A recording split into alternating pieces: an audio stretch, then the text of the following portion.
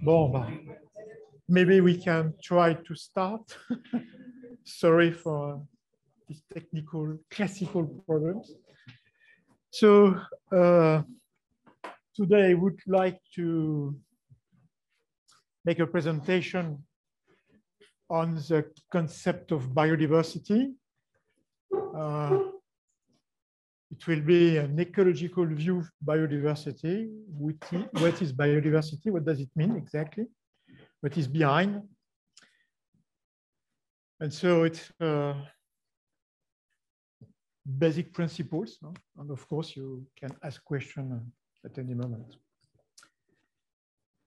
So first of all,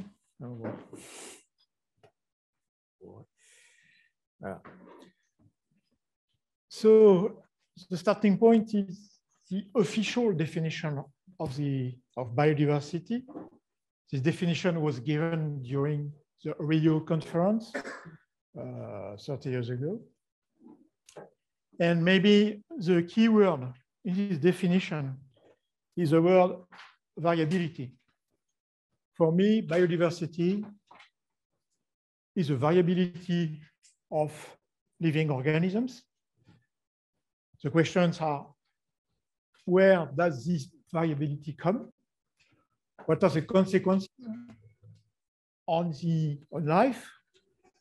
And of course, what are the consequences for humankind?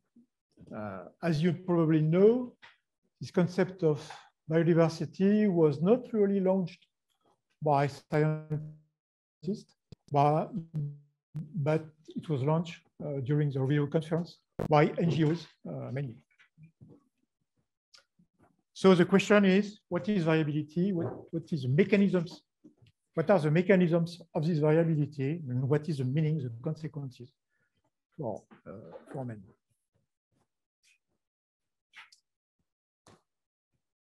Very often when we speak of biodiversity, we speak of species. And we look at the number of species. In this table, uh, you have the number of species we know today in different groups with an evaluation of the level of uh, security of the numbers. Of course, these numbers are probably very bad for very small organisms. They are better for big organisms.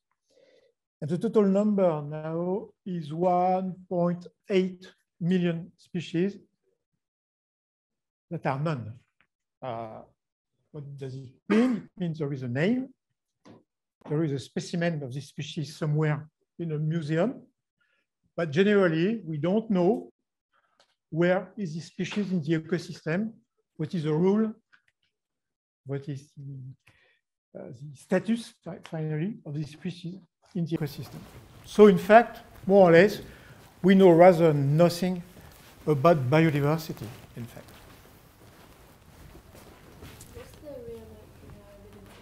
Hmm?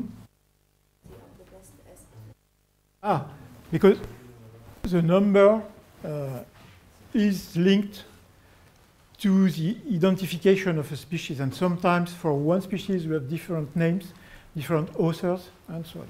Okay? So we have to, to make a permanent revision of the, uh, of the names. So to, what I would like to, to see with you is how, why have we this number of species? We could have one species or 10. We have 1.8 million, probably 10 million species, in fact. Why and how we can reach this number of species.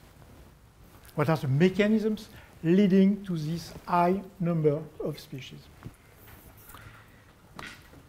So if we look at the history of the Earth, we can have this type of figure. Here you have the evolution of the number of marine families during the geological time.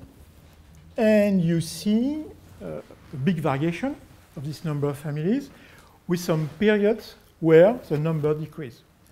This is what we call the crisis of biodiversity. In fact, in the history of, of the Earth, we know around 60, 60 uh, crises of biodiversity, and we had five major crises of biodiversity. And the, the bigger one was at the end of the Permian period. Uh, at this moment, probably we have lost between uh, 80 and 90 percent of all the species on the Earth. But this, uh, this loss uh, took between one and four million years. Okay, so you have to keep in mind this scale, this time scale. We are speaking of one to four million years for this major biodiversity crisis. What is also interesting is that after each crisis, you see that the process of speciation starts again. Okay? I have a question. Yeah. What was the reason for that? Two minutes. if you look at, this, at, at the terrestrial organisms, uh, it's very clear. You see a sort of uh, exponential of the differentiation of the species. And this figure gives the feeling that the speciation is an endless process. We can have more and more species over time. And it is not finished, probably. And once more, you see that after each decrease, we start again following more or less the same shape of the curve. Okay. So why?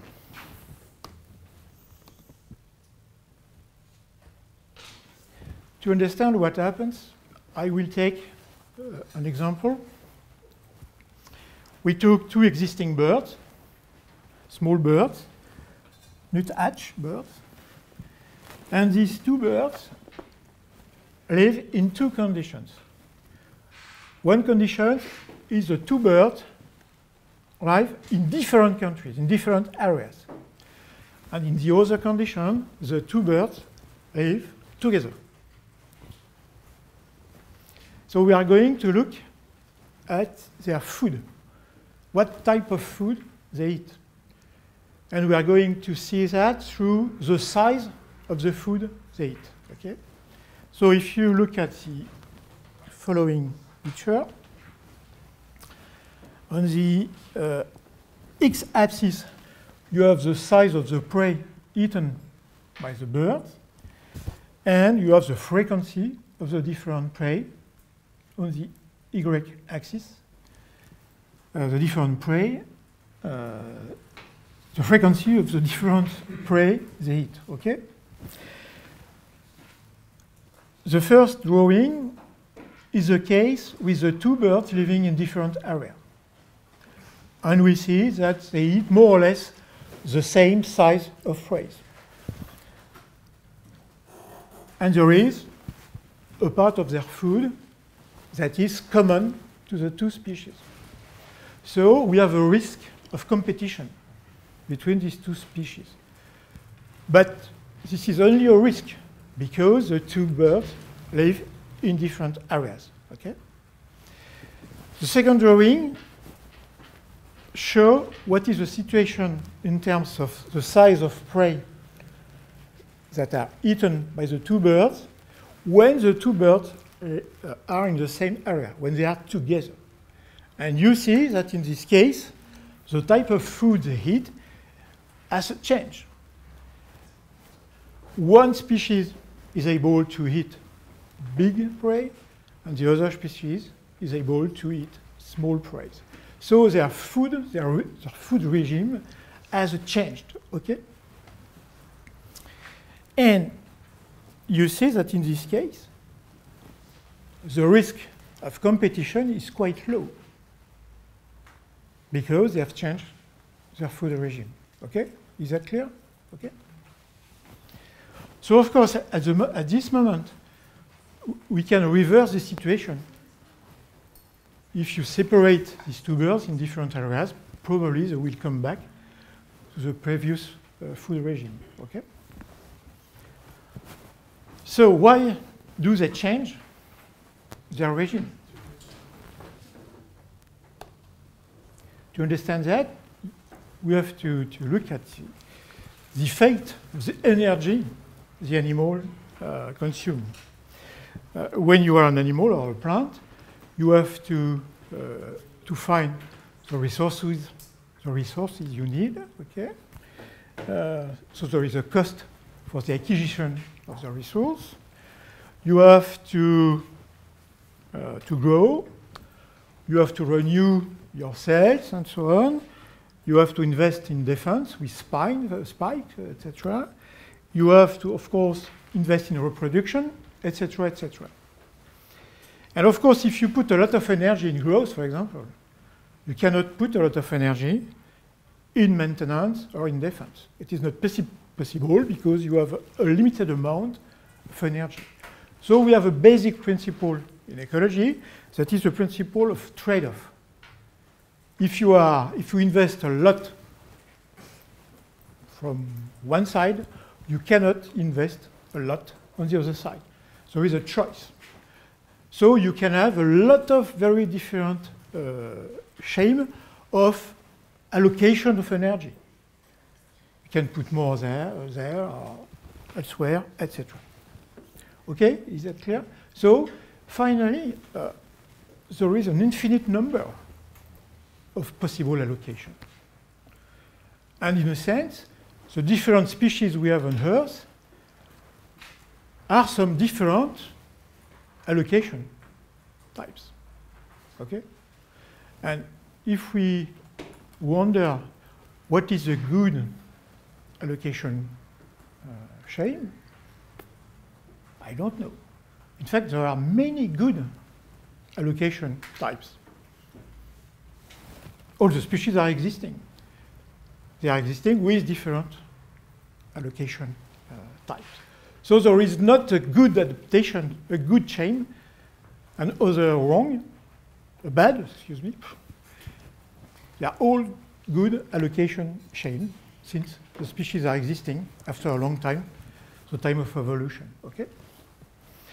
So now, if you take into account the time of evolution, the long term, of course, what is very important is investment in reproduction, because this is a mechanism by which the species is able to maintain over time.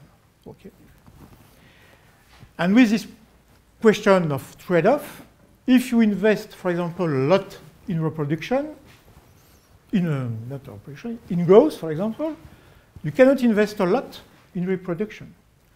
So finally, the number of individuals of this species is going to decline, and so you are going to disappear more or less rapidly.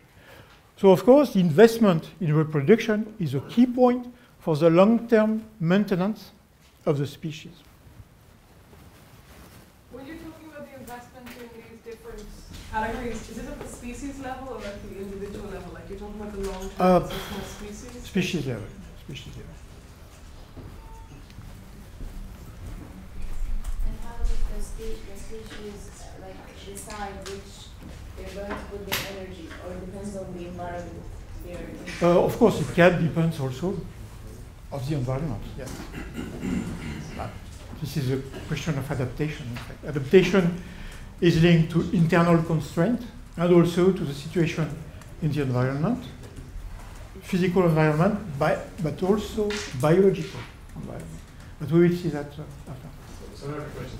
I, I don't really, like, if I understood the answer of her question correctly, it's like not about the individual level, it's about the species level? Or is it like, of course, it is at the level. no, but like, this is like the individual, like the, like the individual can either grow or can do, No, no, no. reproduce It's- itself. It's within one species. But if you talk about growth of a species, Growth. what Yes. does it mean? More individuals? No, no, no, no, no, not growth of the size of the, of the population, growth in terms of the, the weight, for example. Okay, so it's, Yeah, yeah, yeah. it's, uh, Wait, excuse me. There is an ambiguity on the term growth. It is not the growth of the population, it is the growth of the, of the body. But I thought that in a Darwinist perspective, there is no choice of species. I know there is no choice. Of course. You said there is choice of everything. No, no, no. no choice, of course. But you can understand easily that if you don't invest a lot in reproduction, your descendants are, there- there is only a, a small amount of descendants, and progressively you go to the extinction. Okay, so uh, you can imagine that we have a sort of um, minimum investment in reproduction if uh, the organism is able to maintain on the long term. Okay.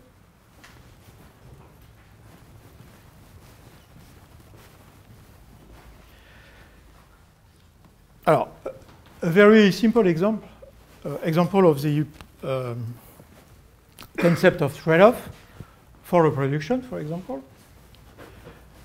You, you take these two birds, we look at the uh, reproduction effort no, in terms of the number of eggs or the number of young birds uh, leaving the nest, okay? And we took in, we, on the other axis, we look at the, not the growth, but the survival of the organisms.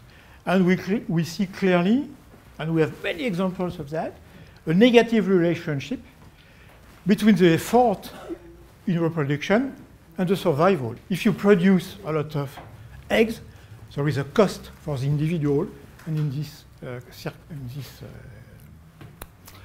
in this uh, je sais pas ce que je dire, and in this case, you decrease the growth, uh, and in this case, the survival. So you cannot be very efficient in all the uh, components uh, of the allocation uh, chain once more. So this is an exact example, an example, very simple, yes, of this. Yeah, I, I was, I'm just wondering uh, about the language, you know, because we're using the words investment and then trade-off, and I'm wondering like how did that happen and whether, um, yeah, whether it's like uh, ecology uh, adjusted for economic students or uh, whether this is really like the vocabulary we use. I understand. Probably it is not the in- investment, it is the part of the energy allocated to that and that. Is that better for you? Or? No, no, it's, it's just about like uh, that the language used in ecology is similar to the one. Yes, for a part. Uh, it is well known, there is some concept in common uh, with economy, that's true. And historically, for example, the biology of population has something to see with the, uh, the question of. Um, ah, comment il s'appelait déjà? Ah, I don't remember the name of the guy, uh, but clearly there are, there are some common uh. Comment? Non, non, pas Gors, euh, le gars qui a travaillé sur les. sur les tailles justement de population humaine. euh. Bah, Malthus. Oui, Malthus, mais le malthusianisme. hein, c'est- I think just complement uh, like I think for us these words like trade-off and investment they mean an active decision in economics, which is not the case here, right? Ah, it is not the case, of course. It is through the natural selection process.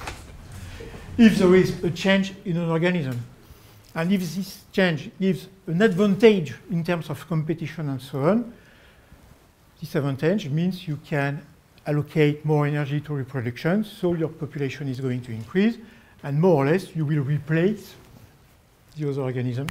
Uh, voilà. So, so, so, so, of course, it is just uh, a random process, and after that, this random change is selected or not by nature. That means, what, what does it mean selected? That means that you have an advantage in terms of the intensity of reproduction, in terms of survival, in terms of the production, the number of descendants you produce. Okay?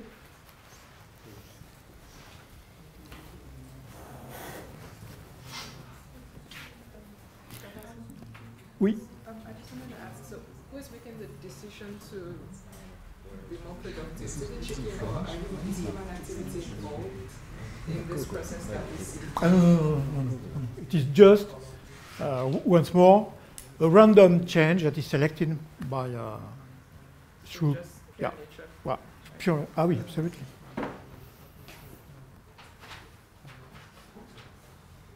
But, well, we will come back after.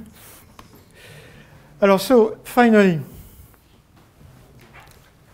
if you have in, if you have in competition, you have two, two birds in competition. We have, seen, we have seen two birds potentially in competition. If they are in competition, they have to allocate a part of their energy to competition. So they have less energy to allocate to reproduction. Okay?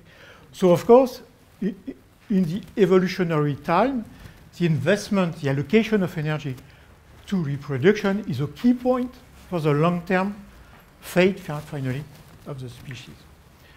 So this is the reason why, when you have competition, if an organism is able to decrease the intensity of competition, it will be able to invest more in reproduction. And finally, what does it mean? It means that, once more, at the scale of the evolutionary time, the, res the response of the organisms to, to competition is to decrease the intensity of competition. And how to decrease the intensity of competition in changing my behavior, for example, the size of the prey I eat normally.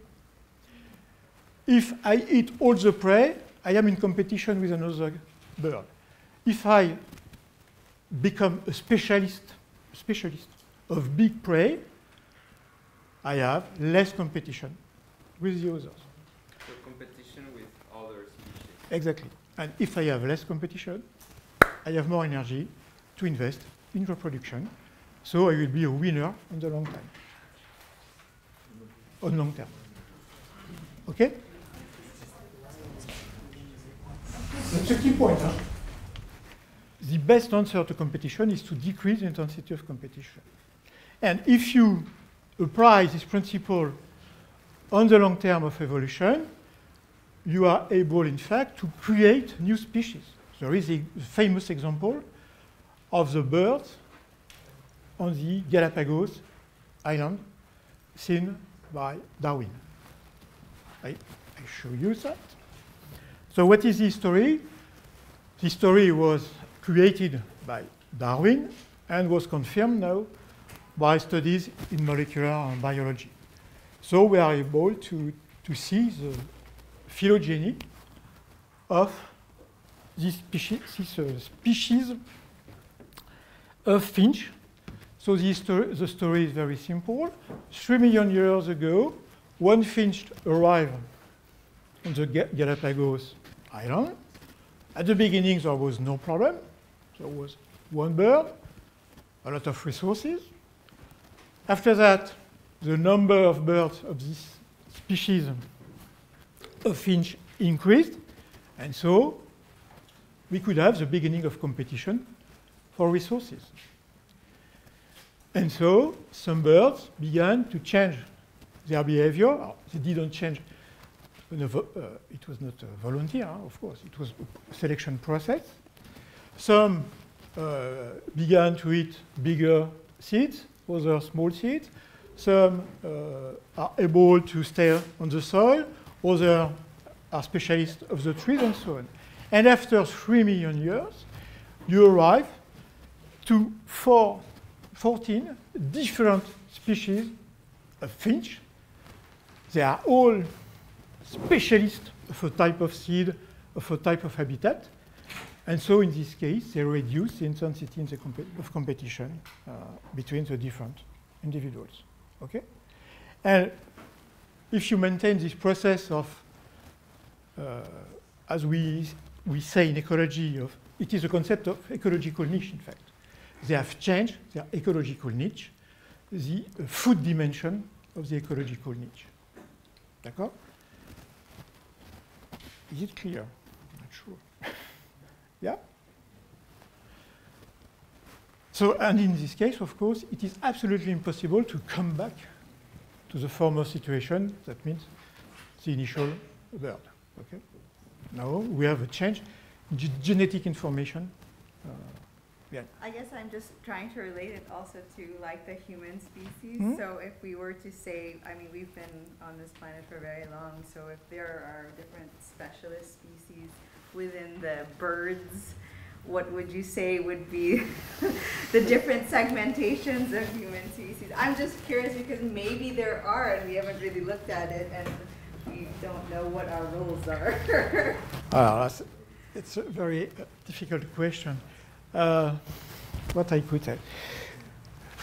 Um, I think that the evolution of humanity ex- is exactly the, the opposite uh, process. In the history of humanity, maybe the different culture in different continents, different population more or less isolated, was an expression of that. Finally, we have one, one, one or two or three, we don't exactly know, but probably one ancestor. We were in the, thi- this, uh, uh, people went in different countries, in different conditions, and they evolved finally in terms of adaptation. Uh, the color was, was not the same because, uh, uh, because of the sun. Uh, some were only uh, plant consumers, or other consume animals, and so on. And now we have the reverse process. We are mixing the different communities, the different population. We go toward a unique way, finally, of living on the Earth. And maybe it could be a very big problem for the future because, as we are going to see after, I believe, but it is just a belief, it is not a scientific point of view, I believe that diversity is the key for the ability to respond to environmental change, to change in the constraint or in the other, other resources. So maybe, in fact, humanity has a big problem because we have a reduction of, of diversity. That's possible. This is what I believe, but once more, this is what I believe. This is not, uh, it's not scientific. So, uh, Oui. just if I understood correctly, the story of the birds. So what you're saying is that competition leads to less competition because Exactly. of diversification. Uh, exactly. Not immediately, but on the scale of yeah, the evolution. long time. Yeah, Okay. Exactly. But then, as you said, if conditions change, you could again decrease the population and then. Uh, yes, and the conditions are always changing. Yeah. So the good solution at a moment, uh, the good solution, the good allocation of energy, uh, specialization, and so on at a moment is not the good one after. So we have a constant change of the condition and a constant change of the good answer of the organisms to the conditions. And this is a, there is a sort of race between environment and living organisms. And as we are in a system, I will show that after, if you have a change somewhere, a change of one organism, there is an impact on the other organisms. So the other organisms, through the mechanism of evolution, will change also. But if they change, the other one will change also. So you have constant interaction, constant change between organisms because they are all linked uh, to the others. Okay? Well, so this is the reason why, uh, in the definition of the Convention of Biodiversity, there is the word variability. There is variability between the organisms, but there is also variability in time. Living, living world is changing every day, more or less. Okay? Alors, yes, there is a competition, okay? But there is not only the competition, so I will, uh, I'm going to tell you a, a very beautiful uh, story with Charles Darwin, once more. Uh, and in this case, it is uh, the impact of cooperation on the characteristics of species. In fact, uh, now in the science of ecology, we have more and more examples of incredible mechanisms of cooperation between organisms. So 20 or 30 years ago, when you make ecology, you speak of competition mainly. Now we speak of competition and cooperation. And we have examples where two organisms are in the same time in competition and in cooperation. There is no, no opposition between both processes. So this example with Charles Darwin. On the presentation, you have a photograph, photography of the orchid, a plant that was observed by Darwin in Madagascar. And if you look at this plant, you can see some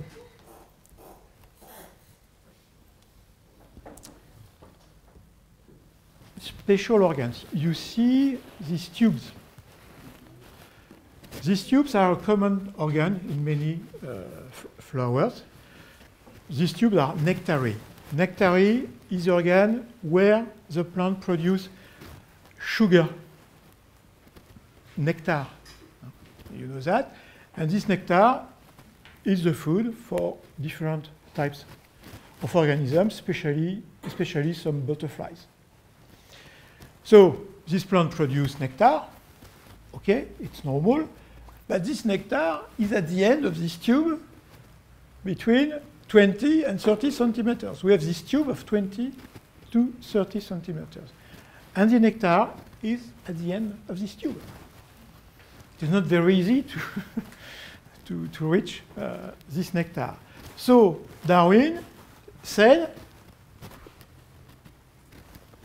there is somewhere, probably a butterfly, with a very long trunk, able to go at the end of this tube in order to uptake the sugar. He said he, it must exist, but he has never seen this butterfly.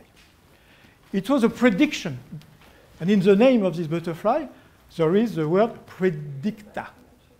It was an organism, well, there, there was no discussion, it really exists, it exists, it is an obligation.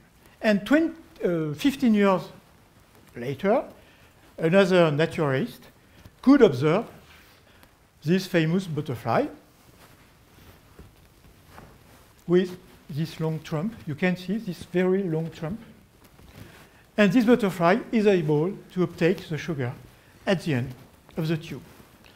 So we have a very close relationship between the plant and the butterfly. And it is very efficient because this sugar cannot be obtaken if you have not a trump, a very long trump. And only this butterfly has this trump. So he is sure to have no competition in terms of food. And on the other side, the plant is very happy because, of course, when the butterfly goes on the flower, some grain of pollen goes on the butterfly, and the butterfly go only on individuals of the same species, because he has no interest to go elsewhere, because with this trump it will be very complicated to uptake the sugar. So in terms of the dispersion of the plant, it is very efficient. The success is 100%. And for the butterfly, we have no competition for the food. So we have a win-win system, a very efficient win-win system. But of course, this efficiency, this efficiency, efficiency, je pas y arriver, uh, well, there is a price to this efficiency. Because if we imagine that the butterfly disappear or the orchid disappear, there is no alternative solution. So, in this case, the two organisms will disappear. So there is a very high efficiency, an immediate efficiency, but there is a big risk of common uh, uh, extension if there is a problem for one of the species. You see? So once more, you have a sort of compromise, and we clearly see that the characteristics of these two organisms are very closely related. We know now with molecular biology that it was a progressive process. At the beginning, the tube was one centimeter, after that it was two centimeters, and so on. And maybe in the future it will be 40 or more centimeters. Of course, this will stop somewhere. Because at the moment the size of the trunk of the butterfly will not be, uh, it, it will not be possible for physical reasons, of course. So maybe we are in an example of, um, ah, je sais pas comment on dit ça en, anglais. Um, if we continue this process, and it is a, an automatic process, okay, we could have a catastrophe at the end of this process. Euh, Il y avait une vraie question? Non Ah.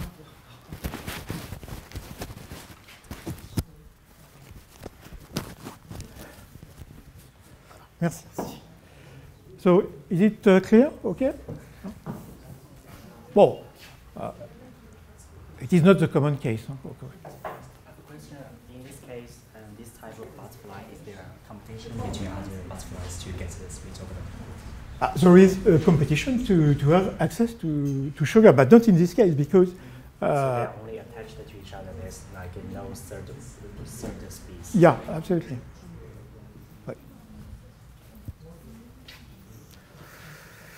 Voilà.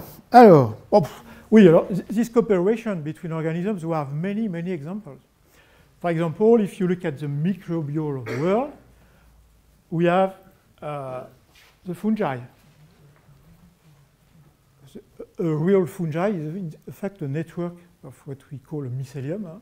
The, the fungi we can see in the forest is just the uh, reproductive part of the fungi. The tree fungi is what you, you can see on the, on the photo. And this fungi is closely associated with roots of a plant.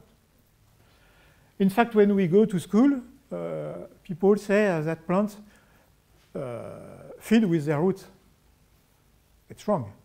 In fact, they feed through the fungi that associated that are associated to their roots. Okay? And so, in fact, what happens? We have different types of fungi. They explore the soil, they uptake the resources, and they give the resources, nitrogen, water, and so on, to the plant. And what do the plant in exchange? The plant is a photosynthetic organism. She is a, it is able to produce some uh, organic compounds through photosynthesis, and these organic compounds are given to the fungi, and in this case, the fungi can develop and can grow. Okay?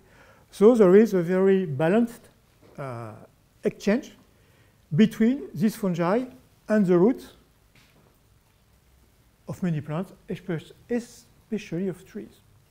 And what is absolutely incredible this last year, some experiments have shown that you take one tree, another tree, for example, a broadleaf tree and a conifer tree, very different species. You can connect them with this network of fungi. It's easily to do in controlled conditions. You put one of the trees in the shadow, the other in the light, and you can see that the tree that is in the light transfer photosynthetic carbon to the tree that is in the shadow. And probably, it is not demonstrated yet, probably the tree that is in the shadow transfer nitrogen, phosphorus, and so on to the tree that is in the light. And so in this condition, with this exchange, the ratio between carbon, nitrogen, phosphorus is optimal for the two organisms. And so we are once more in a win-win situation. And so at the same time, we, you have this cooperation in terms of carbon, nitrogen, and so on, but you can have a competition for the access of light, for example, in a forest. And so what we know now is that during the development of a, of a forest, the intensity of this network of uh, fungi is increased. There is more and more fungi, more and more connection between trees, including trees of different species. And so probably uh, this will give some new approach of forest management because at the moment we ignore this transfer of uh, energy and so on between trees. And when you cut a tree somewhere, maybe you cut this network of transfer and, and in fact you decrease the growth rate, the performance rate of the forest. This is the reason why we explain now that if we can avoid to cut everything on a big area, it's better because in this case we can preserve, preserve some interaction through uh, the fungi. Okay. So this is, voilà. this is a perspective huh, of uh, change of the forest management in the close future, I hope. I was wondering, because I've heard that like uh, when you chop down an old forest, and even if you replant the same trees, it never has the same level, like levels of the forest. It never regrows. Uh, it's a question of time. If you wait enough, probably you will rebuild all this network of. Uh, Would you think the fungi is why we have this effect that even the trees might grow, you don't get the same? I don't know if you have not uh, the fungi, you, you have a lower growth rate and so on. Yeah, yeah, yeah. Probably. I Yeah. just have a comment about that because um, I was working with some tribes in the Philippines, and um, there's one tribe that kind of regrew their for, their forest like a seven kilometer. But what they did was um, they they know that there's a sort of ancestor uh, Wow. tree, and it lets the other ones grow. So it's like they they kind of prioritize that tree, and then they had like a certain order of which trees to put first and which to put next to each other, and and it was really interesting because they understood the relationships of the different Right. But in fact, you, organisms because they knew which ones would bring certain animals that would help pollinate. So it's really amazing. many people in in traditional societies, I don't know exactly what it means, but uh, you see what I, what I mean. They have this type of, uh, of knowledge. It's empirical, of course, but I know several examples of agronomic practice, for example, in West Africa. Uh, when we look at that, we see that people, in fact, they copy some mechanisms of organization we have identified as scientists in terms of productivity, stability, and so on. Because, in fact, by an empirical approach, you make different essays. Some are successful, others are not. And so finally, you do exactly the same work than evolution. Evolution do that. Evolution, we have some different essays. A lot of them are not successful. Sometimes one is successful, and it is retained by uh, the evolutionary process because it gives an advantage to the organism. It's a question of time. And very often we, we explain that when we, we do a research with the type of funding we have today, during three, three, three years or four years, we have to compare that with traditional knowledge accumulated over centuries. So sometimes, and some persons are, are doing that, an observation of what is done by traditional people through the view of the most recent, recent science is very, very interesting, powerful, and gives uh, some information. We can save time, we can, we can understand more, etc., etc.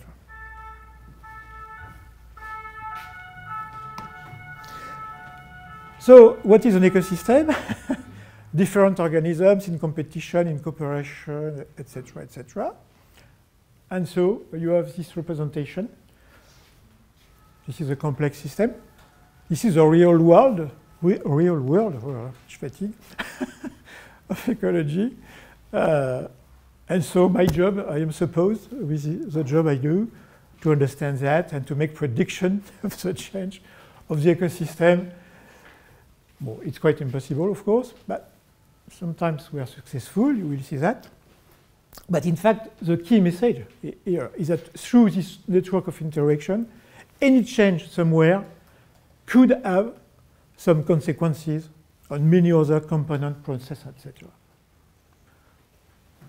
For the case of uh, parasitism, it's, it's The case of? paras- parasitism. Yeah.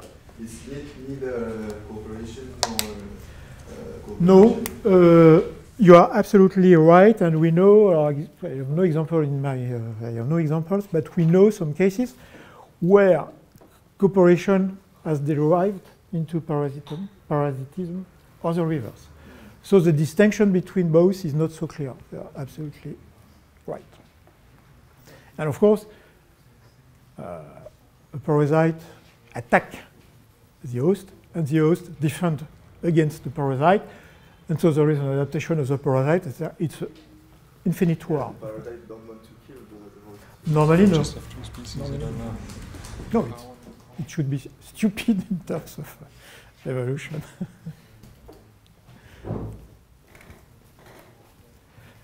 Uh, maybe for, for some parasites, uh, we suspect that some parasites uh, are a part of the host as an organ, more or less. As you know, now we, we know that with uh, our dig- digestive system, it's more or less the same. At the origin, the, this is an invasion of a foreign organism. And now it's a part of us. Yeah. So is a complex system more fragile or uh, not so complex? Because like, if you have a complex system, on the one hand you could argue, okay, if some species extinct, then you have like you can just other ways to. On the other hand, you can also say if everything is connected, and then one misses out, then the whole Well, color. absolutely. Uh, this is uh, people modeling this type of systems. Uh, th- there are two types of models, in fact. Some of the models show that if you have a complex system, in fact, you have a sort of um, buffer effect. So you m- more complex, more buffering effect. So you don't uh, uh, spread uh, the change. And some other models show the contrary. If you are a complex system, you have many ways to, to, to spread uh, the change. Well, it is not clear, and maybe uh, both uh, mechanisms are possible. It depends once more of the context and so on. But really, on the this is an open question uh, at the moment. Uh, but nevertheless, we have now some general knowledge. Uh, I am going to show you one or two examples. Uh, we wait the results of the modelers, of course, but we have nevertheless some results that can be applied in the management of, uh, of environment. So, voilà, this is uh, the problem. Alors, uh, we have another, so complexity, something quite uh, easy to, to understand is what we call the trophic cascade. And this example is in a lake, and it's something classical, demonstrated. It is well known, there is no problem with that. So we take a trophic chain, a, a food chain. You see uh, plant plankton, uh, phytoplankton, phytoplan- phytoplankton, uh, some plants with photosynthesis. After that, you have animal plankton, zooplankton. Some fish able to eat this animal plankton, and big fish eating the small fish. Okay? And we are in a lake. And we can make some experiments with three different systems. One with only the phyto and zooplankton, two levels of the trophic chain. Another one with three levels, the uh, phyto, zooplankton, and the fish. And the last with four levels with a super predator eating uh, the other fish. Okay? And so we look at the amount of phytoplankton. Why? Because phytoplankton is involved in the process of eutrophication. Probably you know that. This proliferation of plankton, of algae on the, uh, on the coast, uh, the, the sea coast, due to the supply of nitrogen and phosphorus, due to pollution by nitrogen and phosphorus. We have a prolifer- proliferation of green plants uh, able to, to make photosynthesis. So the question is how can we control this eutrophication of the lake, this rapid growth of phytoplankton? Because if you have a rapid growth of phytoplankton, you have a huge amount of plants. After 10 days, because the lifespan of, of plankton is very short, after that, many plankton are dying. They go in, the, in deep waters. In deep waters, there is a decomposition. Decomposition means, means the consumption of oxygen. So you create a layer of water without oxygen, the fish die, and so on. Okay. So we try to control that. Well, and there are some ecological solutions. So if I have two trophic levels, Of course, bah, more zooplankton means less phytoplankton, normal. If I have three levels, I have a big increase of phytoplankton. Why? Because the fish eat the zooplankton, there is less zooplankton, and so the phytoplankton can develop more. And you have, in this case, a risk of eutrophication, of proliferation of phytoplankton. And if you add, if you add a super predator eating uh, a big fish eating the small fish, you have a decrease in the mass of phytoplankton because big fish decrease the number of small fish. The decrease of in the number of small fish decrease, increase the number of zooplankton, and the number of zooplankton decrease the number of phytoplankton. So we have some cascading effect. You change something somewhere, and in fact, you change all the system. And so just an advice now to people uh, fighting against eutrophication in lakes, a very old problem, very classical problem. One solution is to control the composition in terms of biodiversity of species of the fish component of the lake. You can avoid this eutrophication, including in situation where you have a big load of nitrogen and phosphorus, if you, for example, uh, put a super predator able to controlling to control the small fish. Yeah. I'm not sure if I, like there is this argument that if sharks are dying out and Ah. they are not eating the tuna, then you will have too much tuna eating the fish they eat, This is the and same. then until they are extinct, and then the tuna will uh, collapse. But what I'm wondering is, like, who controls the shark? Like, why is this argument Ah. f- able? Like, Alors, you know the argument? oui, oui, I, see. The, the, enfin, super predators, in fact, uh, at the end of the, of the chain, they are super predators. They are the end of the chain. There is nothing above. And so in this case, the regulation of the super predators uh, is made by the availability of resources and the competition between the different sharks, in, in this case, uh, for the access to, well, But why does not a tuna get a new super predator if the sharks don't exist anymore? Uh, oui, it's possible. I don't know. It's possible. Because in fact, super predators are able to, uh, I will give you uh, just an example. In marine systems, they are able to change the prey. There is a problem with prey. So mm, maybe it's possible for, I don't know. But just, justement,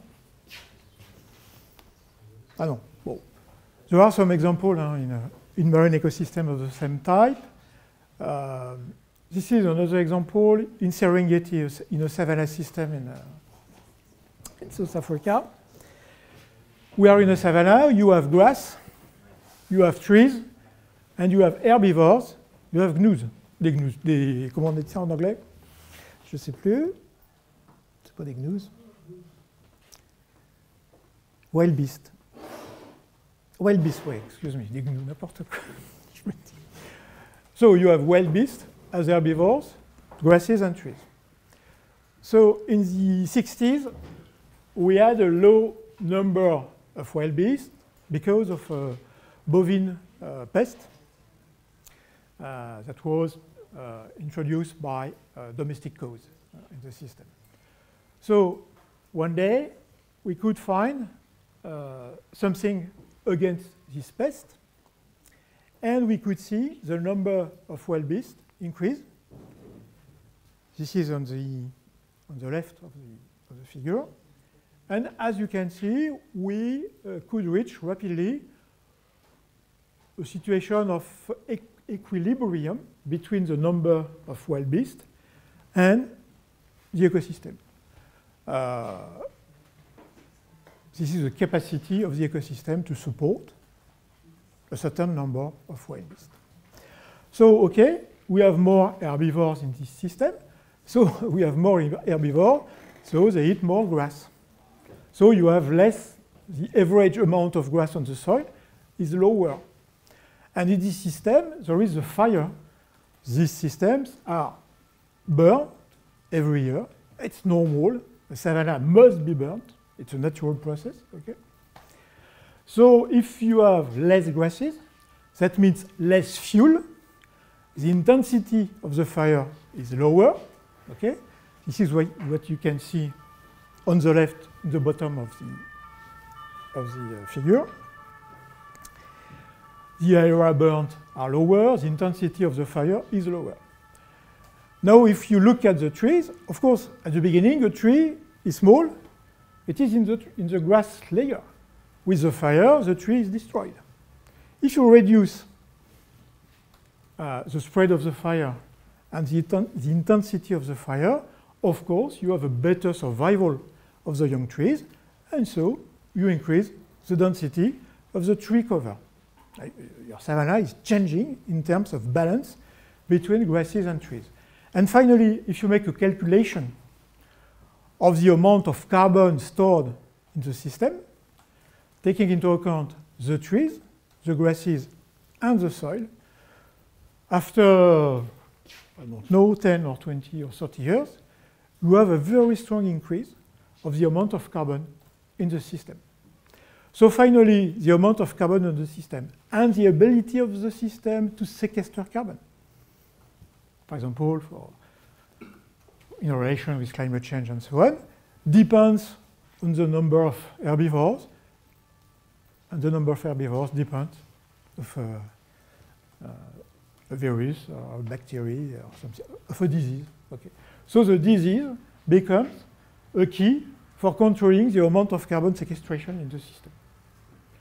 So we have, eh, in this case, a direct impact of the living organisms on the physical and chemical quality of the environment. And so this is also a key point. Living organisms respond to environment. But living organisms, in many cases, also change this non-living organism in a non-living uh, environment. Okay? Uh, for example, very often people say, well, explain to me if this soil, is this soil fertile or not? If you don't tell me what is the plant in this soil, I am not able to give an answer. Because as soon as you have the plant in the soil, the plant is changing the chemical characteristics of the soil. And if you go in some extreme environment, desert or some savannas, in fact, you see that the soil has no impact on the vegetation dynamics because the plants produce a small environment under their control and they develop in this small environment. Okay? So in this case, this part of the environment controlled by the plant could be said, could be called fertile. But if at, at 20 centimeters from the plant, there is nothing in the soil. It is not fertile. So in fact, a part of the fertility, not everything of course, but a part of the fertility is directly under the control of the plant. And this is the reason why we can use some uh, plant uh, to restore systems, uh, etc. For example, in South America, after you destroy the forest, you make some culture in the soil. Very rapidly, after four or five years, sometimes more rapidly, the production decreases because the soil is completely empty. And the way to restore the fertility of soil is to introduce some grasses coming from Africa, in order to restore some process, to, uh, uh, to begin to accumulate organic matter, etc., etc. Uh, if you could cut the forest in Amazonia, of course it's, uh, it's awful for biodiversity, but it is also awful for the potential of productivity of the system because the nutrient cycle, nitrogen especially, is under the control of the trees. If you suppress the trees, you suppress the system of recycling of nutrients, so you have just what is the soil as it is, that means sand.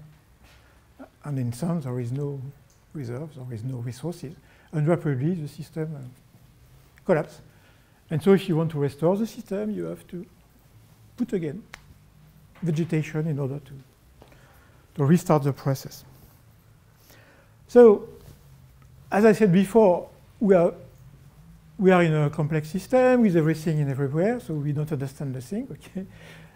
No, we begin to understand something. uh, 30 years ago, people wanted to know the relationship between biodiversity and productivity. And in this case, biodiversity was just the number of species. So in the US, they made a very big experiment in which they manipulated the number of species, of grass species. So they, they had a pool of seeds, and uh, there was a random sampling for five species, 10, 15, and so on. And then, so they created these experimental plots, and they measured productivity. And the result is very clear. You have a positive link between the number of species and the productivity. More, more species means more productivity. Uh, of course, yeah.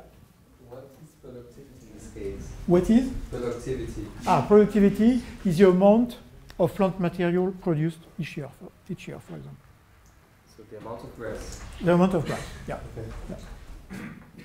And if you look uh, at this uh, figure, you see that at the beginning, we can make a demonstration. You see, biodiversity is very good because we have more diversity and more productivity. But after that, you see that if you add more species, the effect is very low. So people say, okay, biodiversity is important, but finally, if I lose some species, there is no effect. There is too much species. So how can we answer to that? Alors, if you look also at the capacity of the system to maintain the plant production uh, in the context of dryness period, for example, but in fact, you have more or less the same effect. If you increase the number of species, you increase the ability of the system to resist to, uh, to dryness. So this experiment was made different years, and we have more or less the same result each year. So now if you look at the details of the production, the first year, for example, the species A is going to produce 30% of the total amount of grass matter. But the second year, this species A will produce only 3 or 4%. But another species will produce, the species B will produce, I don't know, 40% of the total amount of the production. So in fact, this is the, the interest of biodiversity. If one year, for a reason or another, a virus, a cold winter, I don't know, if you have the decrease of a species, another one can compensate. And it is very easy to compensate because the competition between the two species is reduced, of course, because the, first one is, is uh, at a very low level of production. So uh, we have in biodiversity science what we call the hypothesis of insurance. Increasing the biodiversity in terms of number of species give a sort of insurance for uh, to maintain the production at a more or less constant level. Okay, and probably, but we have less result on that. This is the same situation, the same impact of genetic diversity, of course. So what is key is diversity in itself. Diversity through different species, or through different genotypes within the species. Okay. So now it's a general rule.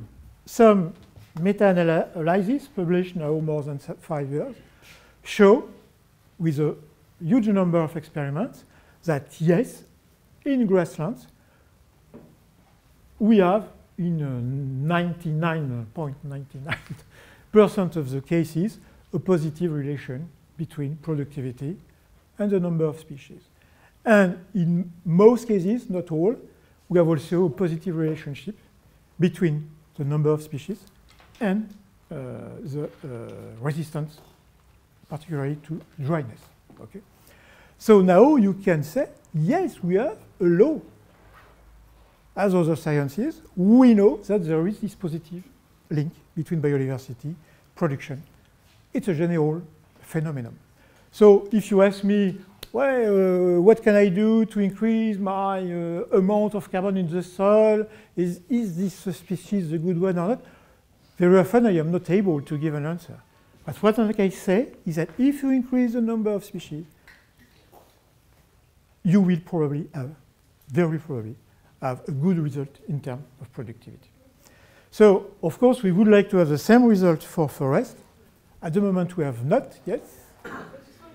At the introductory session, you said that biodiversity is not just increasing the number of species. No, no, it's genetic diversity also. The key point is diversity. Genetic or between species, and probably this is more or less uh, the, same, uh, the same effect. But we have much less result about genetic diversity. So if you look at this uh, relationship, it is not an experiment in this case, it is just observation, correlation, but uh, 800,000 uh, points in the world, more in the north hemisphere than in the south. So maybe there is a problem, but we probably, we observe in this case also, a positive relationship between the diversity of trees, the trees we can uh, cut and uh, use uh, for uh, to make fuel or buildings and so on. There is a positive relationship between the number of trees and the productivity. We have no experiment except maybe this experiment made in China, a big experiment on different years, and they manipulated the number of trees from 24 to 1, monospecific uh, uh, forest. And we have also this positive relationship between productivity and tree diversity. So we have not enough experiments at the moment, so I cannot say, yes, it's sure this is like that. We have to wait for more uh, result. So, so far you see a, oh, sorry. no, okay, so, so far what you see is a correlation. Yeah, but it's an uh, experiment. So it's more. Okay, but so what, uh, grounded on what? On soil use, uh, pollinizing species, like uh, what's... It's, it is on the local conditions, okay? Okay. The only factor, uh, source of variation is the number of species. So this is the reason why I cannot say it's a general rule. We have to make this type of experiment in no other conditions, different type of soil and so on, to be sure it's a general phenomenon. But at the moment, it isn't available. So what I could say is that I don't see why it should not be like that, but I'm not sure. Uh, perhaps there are implications uh, for productivity and economics as well about how what the methodology should be, whether there should be production of one one good or diversity in production itself. Yeah, yeah, absolutely. Uh, and uh, from a once more from a strict scientific point of view, uh, it is, voilà, I, I have to stay, uh, comment on dit, prudent. Ah, Careful. Uh, but we have some observation. I know some forest uh, not far from Paris in which we have uh, 60 species of trees that can be, can be uh, cut uh, there is no clear cutting. There is a management tree by tree. There is a big amount of carbon in the soil. There is a total biodiversity absolutely incredible. This is uh, the virgin forest, uh, forest. And the guy is very happy from an economic point of view because he has resilience in terms of economy. One year, the oak, for example, uh, the market for the, for the oak is not very uh, supporting. No problem. I will exploit another species.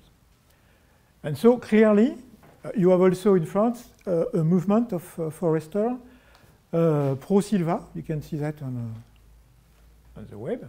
Pro Silva is exactly trying to follow this type of approach. No clear cutting, uh, a lot of species, etc., etc. So there is no, once more, definitive scientific conclusion, but we have many observations. Well, but once more, uh, even in grassland, it is not impossible to have some negative relationship between production and, and uh, number of species in some particular conditions, uh, of course. Yes. It can happen. In California, there's an ongoing debate because they are they've controlled um, horse populations and wild stock populations, but they kind of con- they mix up the numbers for livestock and horses. Yeah. So now the grasslands are kind of growing wild, so they're finding correlations with Yeah, yeah, wildfires and uh, over. But in fact, uh, once more, it's a question of evolution because grasses have had an evolution with grazers, with herbivores. And so we have some experiments showing that at a certain level of herbivory, it is positive for the grass in terms of production, but also in terms of fitness. That means the characteristic leading to a long-term uh, dynamic of the species. If you have too much herbivory, of course, it's a catastrophe. But there is a sort of balance of equilibrium between the intensity of herbivory and the health, finally, of the grassland, because grasses have co-evolved, co-evolved with uh, herbivores. In a sense, grasses need herbivores, but not too much. Voilà, So, what are the mechanisms behind? The first one is what we call the sampling effect. It's very easy to understand. If you have a big number, a high number of species, you have more chance to have one adapted to dryness. For example, one species with deep root, able to uptake water in deep soil. So if you have 15 species, you have three more times to have this, this species than if you have five. This is what we call the sampling effect. Yeah. Um, I'm thinking about the productivity, and I'm wondering why does it even matter whether we have more productivity uh, in an ecosystem of more species when, for example, we want to produce wheat and we don't care about any other productivity except the one of wheat. Yeah. And um, then, then I think like for the agriculture, because I, I, I, what I hear or what I think is that you're implying that with like more species we would have more productivity, even like for example in agriculture. Mhm. But then in agriculture uh, we don't care about the like uh, complete general amount of carbon or like biomass Yeah, yeah, yeah. produced. But uh, what the question is that we don't care. Voilà. Uh, so we have to care. So that means that we have uh, we need to organize some ecosystem services payment. We have to make diversity in the landscape. We have to make diversity in the crop itself with a mix of variety, for example, uh, etc. But why would you want to maximize productivity of an ecosystem? Could you repeat what? Why, why would we even care about Ah. maximizing productivity of Wait, an ecosystem? The objective is not to maximize productivity. Because when you maximize productivity, you maximize productivity of one crop. That means you have a single view. Euh, je ne sais pas comment on dit ça en, en- anglais. Euh, it is not uh, a systemic view. So if you do that, you can do that. We have done that in agriculture. But since we are in this complex system with many interactions in all the sides, so you have some side effects that are not very positive for you. And for me, the, the agriculture is a good example of the result of the lack of systemic view. If you lack of systemic view, you can maximize one function, for example, the production of, of grain, but you forget everything else. And so probably you will have some problems. For example, in an intensive crop field, the rules that are followed by the bacteria are, are the same than in a primitive forest. But we forgot that. So we have now some problems. But so the, max, the maximum productivity is not an objective in itself. But it can be. It was an objective. So now what we can to promote, what we try to promote, is a more uh, diverse view And this is the reason why, once more, if we are able to pay for ecosystem services like diversification of landscape, diversification of ecotypes, uh, diversification, enfin, carbon sequestration and so on, maybe we can promote that. Yeah, thank, thank you. I yeah, I, I, get it. Uh, now, I'm just thinking why we are then talking about productivity, and then I think that a good concept is resist, resilience, right? Mhm. Resilience of the ecosystem that you also mentioned Yeah, yeah. before. Oui, oui. Enfin, uh, if you imagine, um, uh, if we are in a, including in a, in a farm, for example, uh, what is important for a farm is to decrease the variability in order to have better security in terms of uh, revenue, for example. And so if you increase, you can increase the resilience of the system even if you decrease uh, partly the productivity, but where what you lose with productivity, you win with stability of production. Once more, it's a problem of compromise of trade-off. You cannot have, it's impossible to have a very high productivity with a very high resilience and so on. No, it's not possible. But we don't see that. Yeah. When we're talking about increasing the biodiversity, are we in this scenario talking about doing it in only in agriculture and crop fields? Or are we also talking about doing it everywhere in all fields that need it? Because it, every time we were talking about the fact that if we start planting um, plants or anything that wasn't traditionally there in the beginning, that we're ruining the ecosystem that should have traditionally existed. But now you're saying that if we plant different soils or different crops or different seeds that could increase the biodiversity, then we would make it more resilient. So which argument stands, or like which argument would be more for agriculture and which would be more for just preserving forests? Uh, I'm not sure to catch you, but um, uh, I, I think the interest of biodiversity in terms of resilience is valid probably in many uh, human activities. Forestry, as you said, agriculture, of course, but also all the question of uh, greening of cities, for example.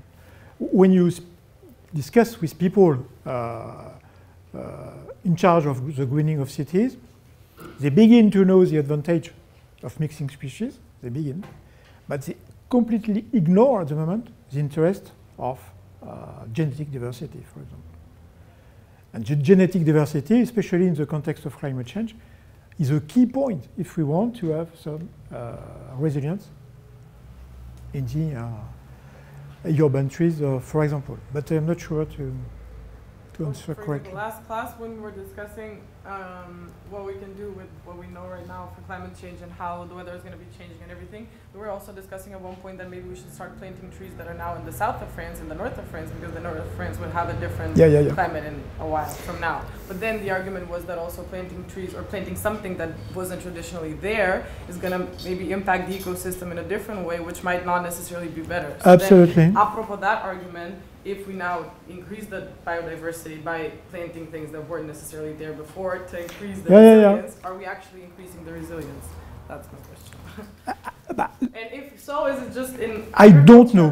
What I know is that probably you will increase the resilience if you increase the diversity.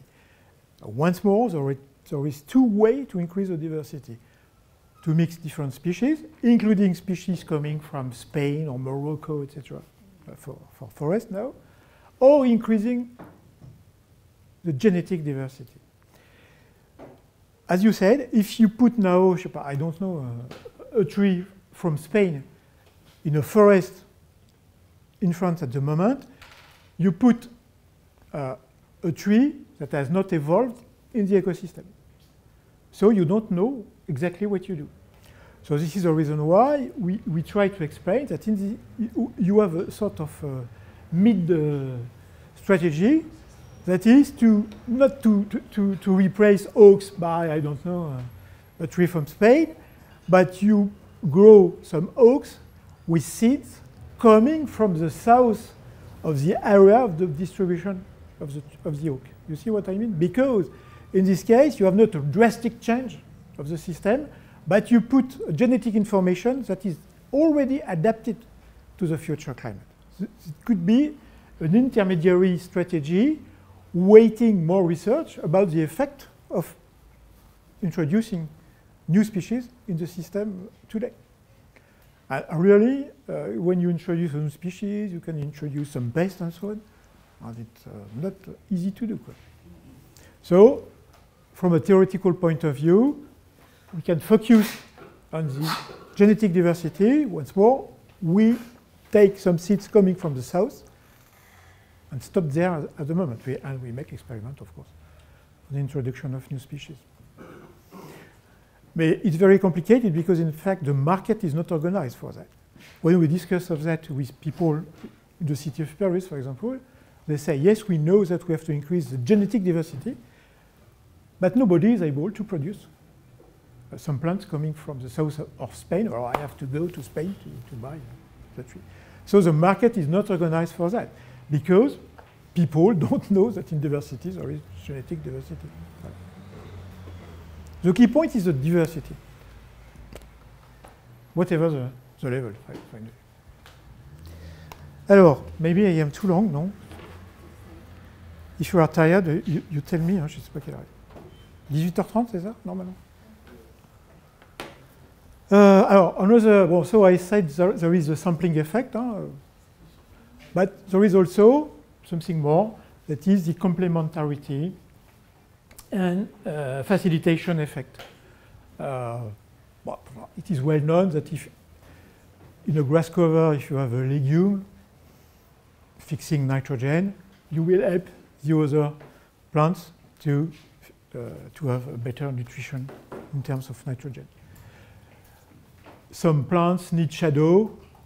If you create shadow with one or two species, you allow some other species that adapted to shadow to grow, and so on.